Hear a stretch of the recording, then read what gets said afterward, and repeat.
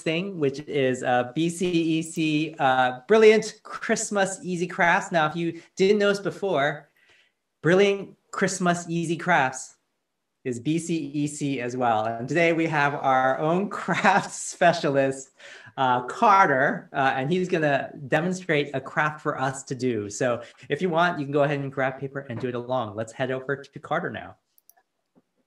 Good morning, church. Um, those who don't know me, my name's Carter, and today I'm a reindeer.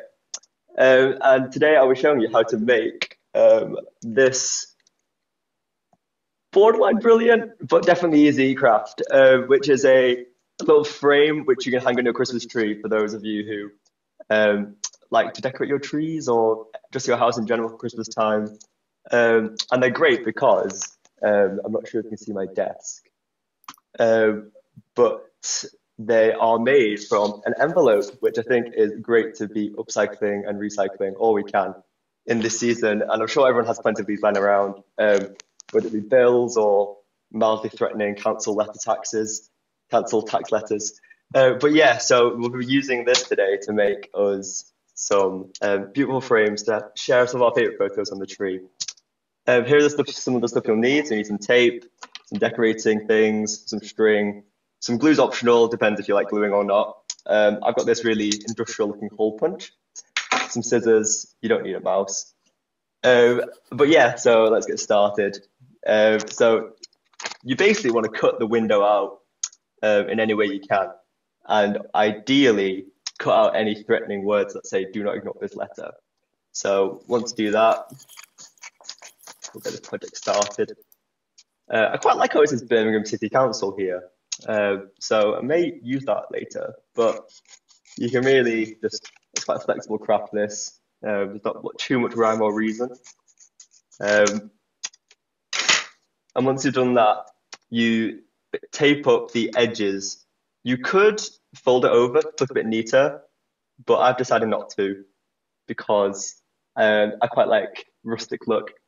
And also, I learned recently that um, crafts is really made me appreciate the beauty and imperfection. Um, so I'm going to be just taping the edges here.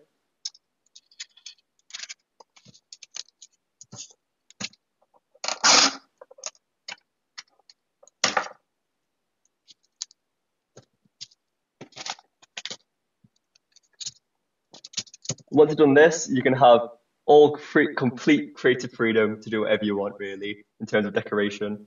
Um, so I've got some pens here, so I might just draw a little snowflake perhaps. Um, I've got a little green pen here, which naturally just screams Christmas tree. I was panicked recently because I was like, yo, there's so many Christmas trees being cut down. And I was like, I'm not supporting this. But then I Googled it, and actually three get planted in the UK for every one that's cut down. So if you're supporting that, that's good despite it takes 15 years for them to grow, but we, we reap the benefits eventually. Um, and then, yeah, don't forget to decorate the back. Um, I might write I the old Merry Christmas um, in blue to represent the cold weather that we experience here in the UK. Um, and after that, all you need is a flattering photo of a flatmate or a friend or a family member. I've got one here of my ex-housemate Josh Lay um, with a ketchup bottle, which adds festivities, I guess. And then using a hole punch, uh, hole punch a thing at the top. And the final step is to cut some string, tie it in a small knot,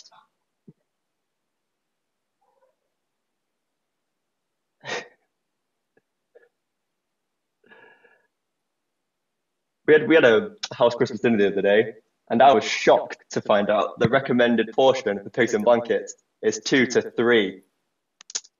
That was shocking.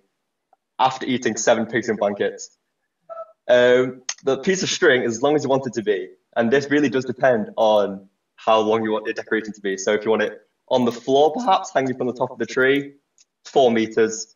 If you want it just clinging onto the branch, shorter will do. Um, so yeah, you tie a loop, poke it through the hole, and then you pull it through. And that's ready for you to hang on the tree. Um, you can get really creative with this. You can cover it with pens. I got a bit crazy here with washi tape. It's also great because you can um, stick little things on the frame. Um, I'm not sure which camera it's on, um, and it doesn't damage the photo. So it turns a photo to a festive photo. Uh, but yes, this has been my short crafting segment with my um, borderline brilliant crafts. I think BB, CEC. I think um, that's what we'll call this. But yes, thank you all for watching. Merry Christmas. Oh, that's fantastic. Should we all give like Carter such a round of applause? He just comes up with these things. It's so, so, so, so good. Um, it was so good. I think Carter is like, I personally, I feel like he's so good at this, even while he's speaking and he's doing these crafts. I feel like for a moment I was transported to actually like Blue Peter and I was doing this, except it was a Chinese person making crafts. And I was like, this is amazing. What's also amazing is I've never seen Blue Peter because I didn't grow up in this country. Next up, we're going to head